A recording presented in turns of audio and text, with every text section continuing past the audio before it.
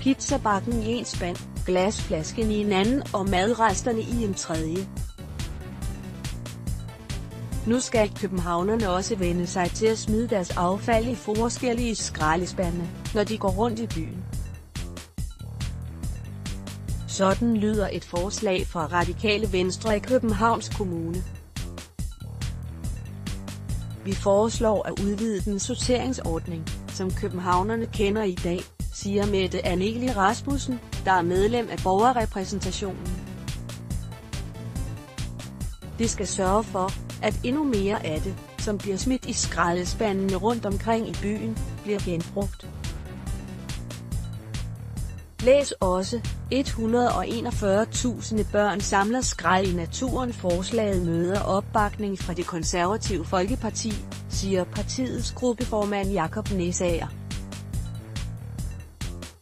Jo mere affald vi får sorteret og kan genbruge, jo mindre belaster vi naturen, siger han. Det har nemlig vist sig, at københavnerne er langt bedre end forventet til at sortere affald i hjemmet. Derfor har vi også en forventning om, at de er villige til at sortere affald, når de går på gaden, så det kan genbruges, siger Jakob Næsager. Stigning i affald, der genanvendes for 10 år siden, blev en fjerdedel af affaldet fra de københavnske husstande genanvendt. I år er det tal helt oppe på næsten halvdelen af affaldet, ifølge Radikale Venstre. Der er selvfølgelig nogen, der synes, at det er besværligt. Men vi kan se på tallene, at københavnerne sorterer rigtig meget, siger Mette Anneli Rasmussen. Derfor er borgerne også klar til at bruge ekstra sekund på at smide takeaway-skraldet i den rigtige spand, mener Pelle Guldborg Hansen, der er adfærdsforsker på Roskilde Universitet. Læs også, lettere at sortere affald, kig på emballagen for at få hjælp. I det offentlige rum vil folk være tilbøjelige til at gøre det, der er korrekt i andres øjne.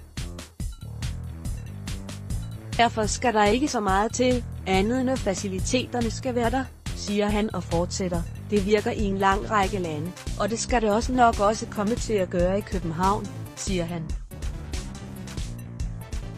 Succes i andre store byer Man affaldssorterer allerede i det offentlige rum i store byer som Rio, Rom, Seoul og Singapore, siger Mette Anelie Rasmussen.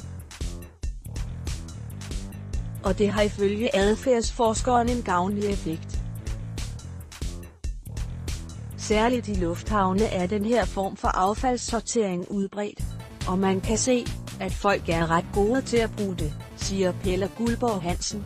Radikale Venstre fremlægger forslaget til resten af borgerrepræsentationen på deres næste møde og håber på opbakning fra kollegaerne på Rådhuset.